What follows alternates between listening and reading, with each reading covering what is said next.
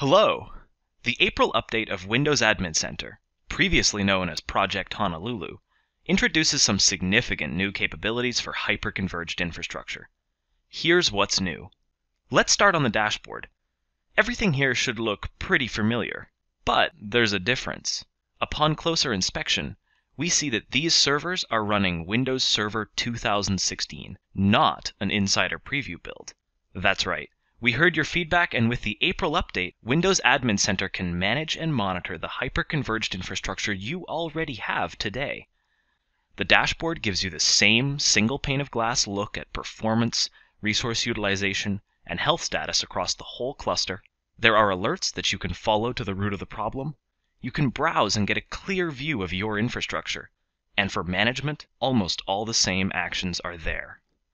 A few little differences are unavoidable between Windows Server 2016 and Insider Preview. So, for example, deduplication and compression isn't there, and the performance charts can't show long term history. But overall, it's very similar.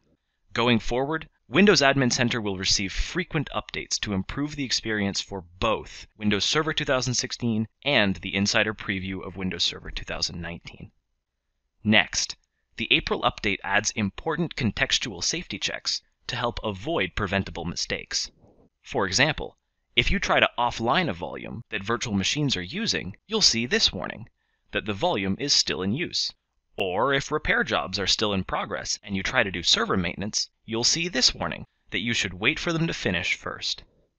Lastly, when you use mirror accelerated parity, there is now an option to adjust how much data is mirrored versus how much is stored with parity, so you can choose the performance versus capacity trade off that's right for your workload. Okay, that's a quick look at what's new in the April update of Windows Admin Center for hyperconverged infrastructure. For more information, visit aka.ms slash Windows Admin Center HCI, try it out, and let us know what you think. Thanks, and see you next time.